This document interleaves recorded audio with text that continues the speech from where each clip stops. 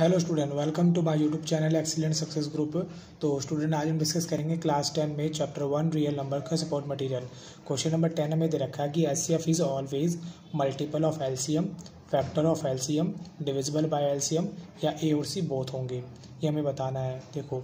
इसको समझाने के लिए मैं आपके लिए ले लेता हूँ एक एग्ज़ाम्पल जैसे कि मैंने एक लिया मैं यहाँ पे सिक्सटीन दूसरा लिया ट्वेंटी मैं इन दोनों का लेता हूँ एच ठीक है? सिक्सटीन की मैंने फैक्टर किए यहाँ पे.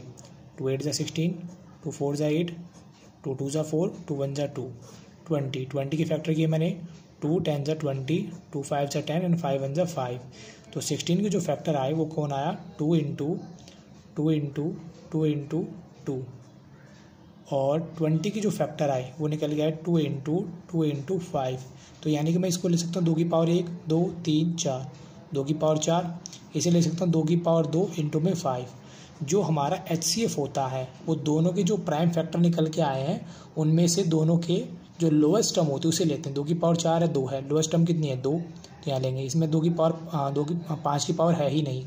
तो इसमें दोनों में से नहीं लिया जाएगा। दोनों में से जो लोएस्ट होगी, दोनों में देखना है। नहीं है तो नहीं लेंगे। तो यानी कि इसका जो फैक्ट एच निकल गया है, वो कितना आया? फोर आया निकल के। ठीक? अब वहीं बात करें इनके एलसीएम की। एलसीएम जो होता है, वो दोनों में हाईएस्ट पावर होती है। दोनों की हाईएस्ट पावर यानी कि प्राइम फैक्टर दो की पावर चार है, यहाँ दो है तो हाईएस्ट पावर कितनी? चार इसे लेंगे। इसकी पावर एक है, इसमें है ही नहीं तो हाईएस्ट को कौन माना जाएगा? फनी माना जाएगा, ये ले लिया।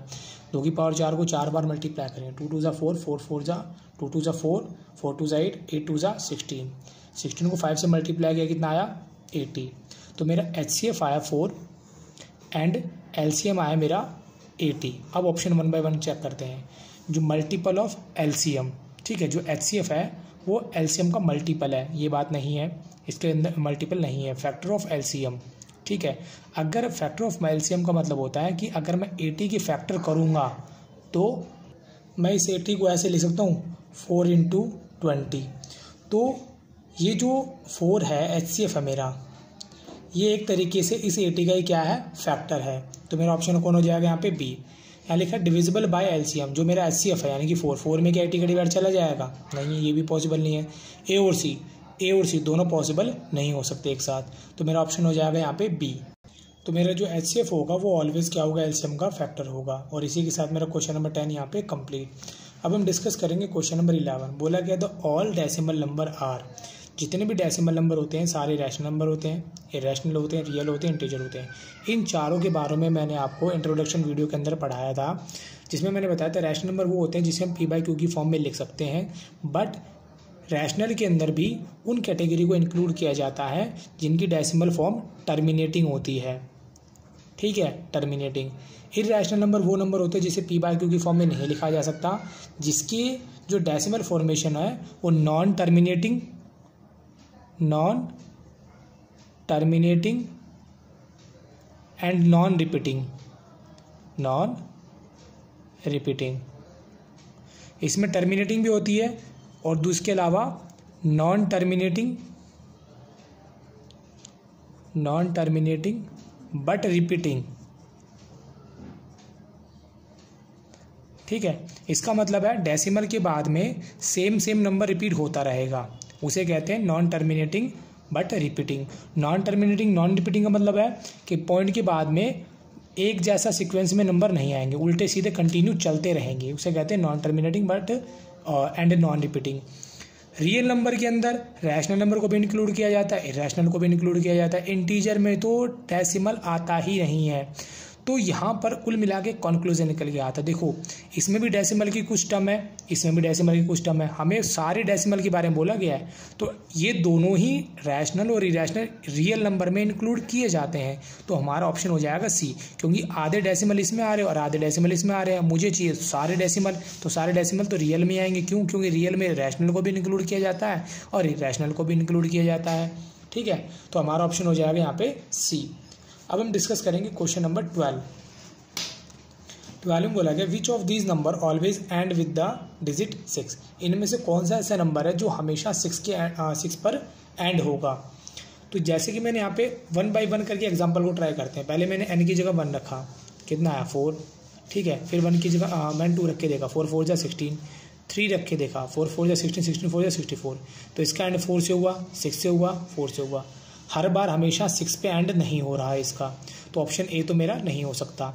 बात करते हैं ऑप्शन बी की। ऑप्शन बी में दे रखा टू की पावर एन मैंने वन रख के देखा। टू आया। फिर टू रख के देखा। फोर आया।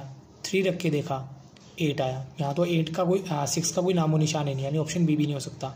ऑप्शन सी सिक्स की पावर एन मैंने वन रख के देखा। सिक्स आया। टू रख के देखा। थर्टी सिक्स फिर मैंने यहाँ पे थ्री रख के देखा। टू हंड्रेड सिक्सटीन मैंने फोर रख के देखा। सिक्स को सिक्स से चार बार मल्टीप्लाई करेंगे। ट्वेल्व नाइन्टी सिक्स इसके हर बार एंड में कौन आ रहा है?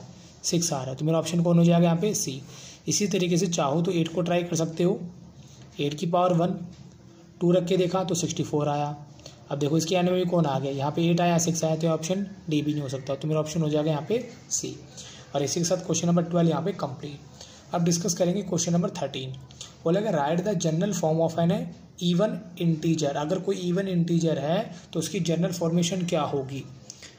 यहाँ पे मैंने उसकी जनरल फॉर्मेशन ले ली टू एम ले सकते हो, या टू एम प्लस में टू या टू एम प्लस में फोर आप इसमें एम की वैल्यू कुछ भी एज्यूम करो एम मेरा कोई इंटीजर है एम एनी इंटीजर कोई भी इंटीजर रखो यहाँ पे, हमेशा इवन नंबर ही मिलेगा। जैसे मान लो मैंने एम की जगह पे रखा ज़ीरो कितना आंसर आएगा? Zero zero zero is also even number m की जगह मैंने मैं रख के देखा टू आया। टू भी एक ही वन नंबर है, चाहे इसमें रख के देख लो। एम की जगह मैंने यहाँ पे ज़ीरो रख के देखा। तो टू को ज़ीरो से गुणा किया ज़ीरो ज़ीरो प्लस टू कितना है? टू ये भी एक रियल नंबर इवन नंबर है। चाहो तो आप इसमें रख के देख लो। एम की जगह पे चाहे आप यहाँ पे सिक्स रख के देखो। Plus four two four six two ज़ा ट्वेल्व प्लस में फोर कितना आया? सिक्सटीन ठीक है? तो ये भी मेरा कौन है? एक ईवन नंबर है। तो ये भी हो सकता है two m two m plus two two m plus four ये सारे कौन है? ईवन नंबर के फॉर्मेशन है।